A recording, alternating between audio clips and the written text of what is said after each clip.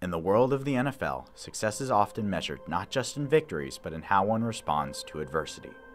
For Chad Ryland, the transition from college football stardom to the grand stage of the professional level proved to be a trial by fire. His first year in the league was riddled with challenges, and yet he prevailed. From Maryland to Massachusetts, Chad tells his story of the journey to the NFL. So draft day, um, April 29th, I was at home. It was day three of the draft. I don't want to, in the most humble way, I knew I knew I was going to get drafted that day. Like I performed well in pre-draft. Um, I earned it. I knew it was coming. So I didn't really want to have a big party. I was just at home in Lebanon County with my mom, my dad, and then um, my best friend Colin Jones, who I also graduated with here. He was with me. I invited him over just because he's been along for the ride too. And my phone starts to ring, and it's uh, Massachusetts area code and it says Foxborough, Massachusetts. So I was, I was like, wow, like I'm going to the Patriots. And my dad wasn't even downstairs at the time. It was just me, and my mom, and Colin. My mom's like, well, pick, pick it up, pick it up. So I picked it up. Um, and it was Coach Belichick's assistant, Berj, who's a super good dude. He's like, hey, Chad, this is Berj with the New England Patriots. I'm going to put you on with Coach now. And it, just like that, it's like, hey, Chad, how you doing? I'm like, Coach, good. How are you? Um, he's like, good. Like, obviously you're watching the draft, I'm guessing. I'm like, yep, I am. It's like, you're gonna wanna watch the TV here. Uh, we're gonna make a trade up and, and come get you at pick 112. So we're gonna make you a New England Patriot. Happy to have you, we'll see you here soon. And then just like that, hands the phone off to Mr. Kraft, um, the owner.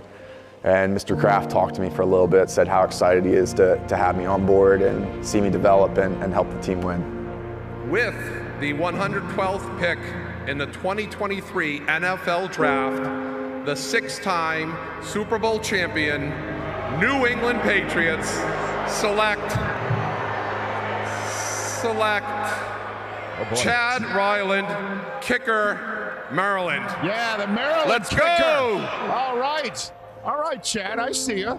I think the hardest part of the preparation for the NFL is, for me, I've never done it before. Um, come from a school in Eastern Michigan where we were in the MAC, a little bit smaller Division One school, to the University of Maryland, which was a Big Ten school, and that was certainly much closer to what the NFL is like. But at the same time, it's completely different um, because everyone in the NFL is the best at what they do, like the best in the world at what they do. It doesn't get better than that. So you have to make sure that you're able to raise not only your physical intensity, but also your emotional and your mental intensity because um, the game's a lot faster. Guys are bigger, faster, stronger, and you're relied upon a lot more to do your job. I mean, I don't think there's anyone that really helped me prepare me 100% because no one's done it before around here, besides maybe Frank Reich a long time ago, who I've never really spoken to.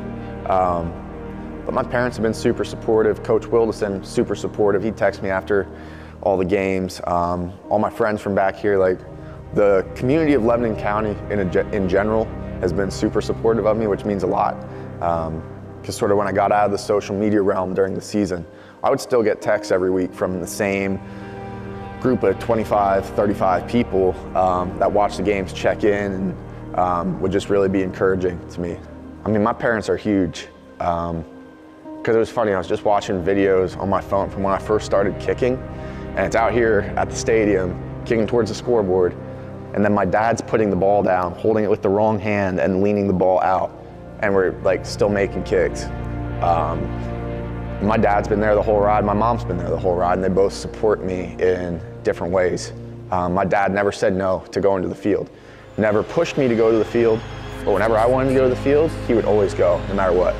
The amount of times and balls my dad has shagged for me here, Lebanon Valley College, in the net, wherever, like he's always, always down um, to do it. My mom, my mom could care whether we win or lose as long as I'm safe, healthy, and, and doing things the right way, which is a big, a big part of my internal ethics, morals in terms of how I view what I do.